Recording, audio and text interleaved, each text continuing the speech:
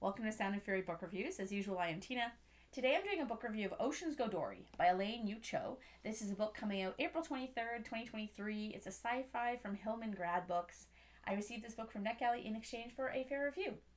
As nuanced and reflective as it is exciting and fun, Oceans Godori is perfect for fans of Firefly. And no, I don't say that lightly. I know books often get this comparison, but I will explain later why I think this actually fits for this book. so, what is this book about? Ocean Yoon has never felt like much of a Korean, even if she is descended from a long line of Haenyeo, Jeju Island's beloved female divers. She's also persona non grata at the Alliance, Korea's solar system dominating space agency, since a mission went awry and she earned a reputation for being a little too quick with her gun. When her best friend Teo, son of the Anon tech empire, is framed for murdering his family, Ocean and her misfit crewmates are pushed to the forefront of a high stakes ideological conflict. But dodging bullets and winning space chases may be the easiest part of what comes next. This has nothing to do with the story, but I actually worked for seven years in high school and university at a small mom and pop video store that Gen Z's is a place where you got your movies before streaming was invented. where the owners were Korean. As such, I was around the language a lot as they spoke to one another almost exclusively in it. They used to bring me the best, best food. I'd get kimchi and various other stuff, but my favorite were these little rainbow colored rice cake things. I don't know what they're called anymore. I wish I did. They'd always bring me a bunch when they visited family. So reading this book was like being back at the video store because there are a lot of Korean words and culture aspects woven into the novel. It also made me very happy that I was reading on my tablet because I could just click on the word and look it up on Wikipedia and be like, oh, okay, translation time. it was kind of nostalgic for me in a way because the video store was like a third home for me. In fact, I spent more time there than my actual homes. I had two because my parents were divorced. I worked, I think, like four days a week for eight hour shifts, so I was there a lot. And then, you know, when crap happened to me, like when I got an offender bender or I got a bad grade at school, things like that, I went to them for help instead of my own parents. Hope my parents aren't watching this. They also used to get awesome Korean movies in the store here and there, like the original Old Boy and Shiri and some horror movies. So that was great too. I, I, I really actually really miss working there. It was it was a great kind of point in my life. Personal anecdotes over. This is a novel that I found took me a bit to get into, but by about a third of the way through, I understood what it was doing and how it functioned it's kind of like a rock rolling downhill, to use an you know cliche phrase. Once it starts, it doesn't stop. This is mainly because the Firefly crew aspects don't arrive until about halfway through the story, which is when I became really engaged with it.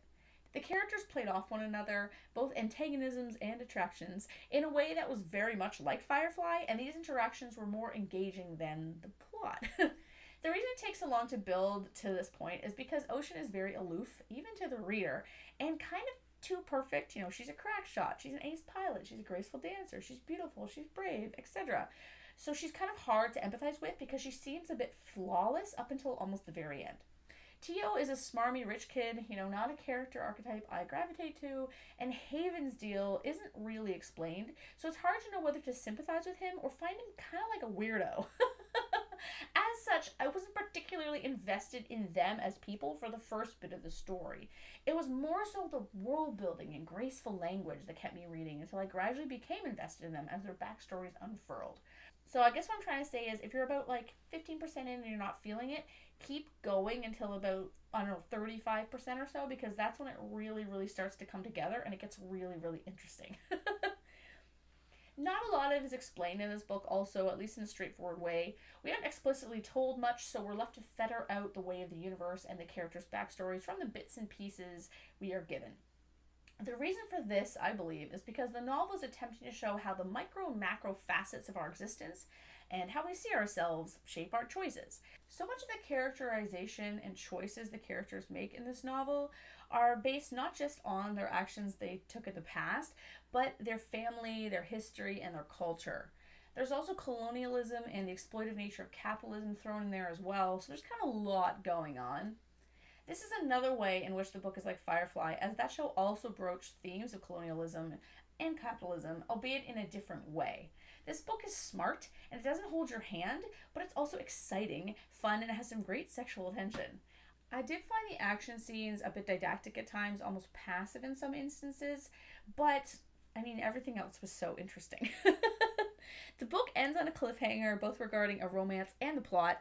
I'm not sure if this is supposed to lead into book two or some sort of, or if it was some sort of artsy ending, but either way, it was far too abrupt for me. When it comes to the one romance, I saw other reviewers wondering if it would progress into a love triangle, but I'm guessing if we do get more books, which I hope we totally do, because I totally would read them, it would be more of a polyamorous thing rather than a, um, a love triangle, hopefully, hopefully, because love triangles are awful.